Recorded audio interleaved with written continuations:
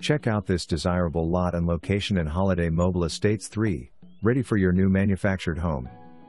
Bonus This property already has water and sewer hookups available with electricity and is in preferred flood zone X500, so no flood insurance should be required with a mortgage.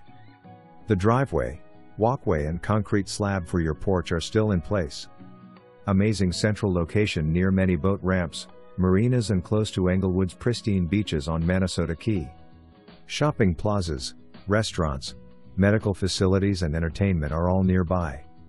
Also ideal for investors who'd like to build then resell or rent.